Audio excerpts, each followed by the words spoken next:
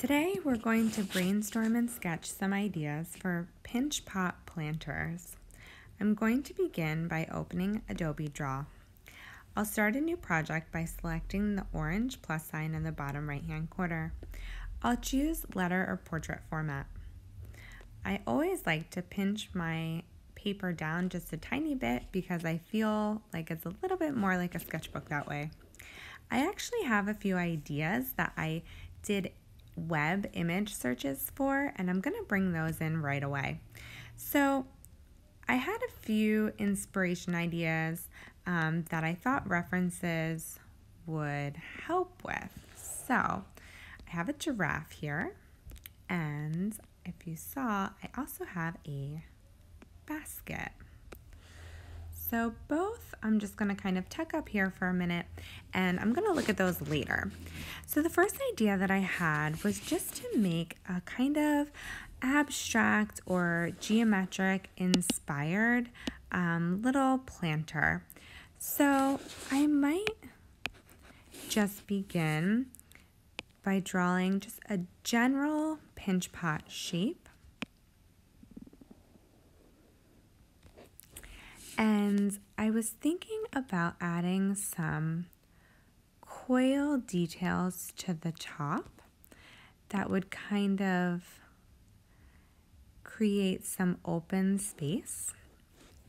I also thought about maybe using some of my stamps from back earlier that I made.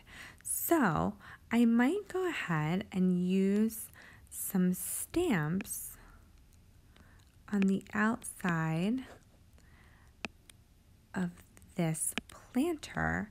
So I would go ahead and draw that design in so I know just where to stamp and how that's going to fit in with the design. I also might want to add some interesting feet to this planter. So I might make it kind of like a tripod. So giving it three feet. I'd make them coils. They would be a little bit wider at the bottom so that they could support the weight of this pot. I might even go a step further and add some decorative spheres on the top of those high coils that you can see here. Another idea that I had was an animal inspired planter pinch pot. So I might do the body of the pinch pot as the body of a giraffe and I would then create a neck. Oh, it's going to turn into my number two neck here and kind of bring that down. I would connect here. So I might actually go back and erase that. And I would add that long tail. And of course, I would have to add those long legs, which would be the most fun part of this style. Once I think about texture, I could maybe make contrasting texture between the spots of the giraffe.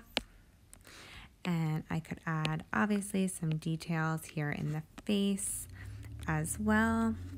Can zoom out a little bit, kind of refine the nose and go back in and erase the two um, some giraffes have little horns as well, so maybe I'll give this one little horns too.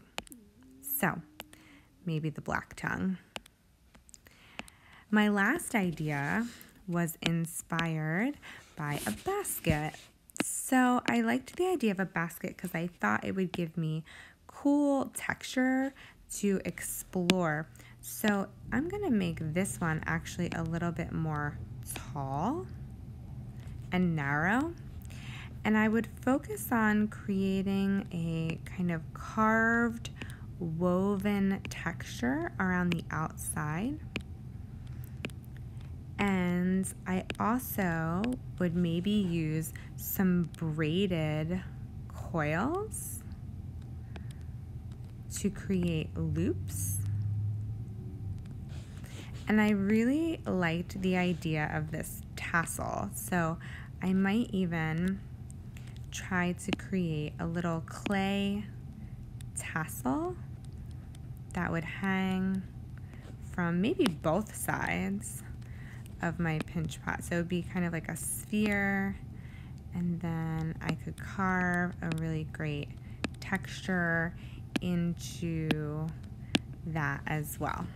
So those would be my three ideas for totally different pinch pot planters that also utilize other methods. So we can see the pinch pots, but I also have coils. You might have coils as well or you might even have slabs. So I might do these polka dot or the polka dots on the giraffe in slabs for details. More coils here as I braid. So all of those additions, and then I might even make a note that I'm gonna use my stamp on the outside wall of this one. So be sure to label, have really detailed plans for this project so that we know exactly what direction we're going.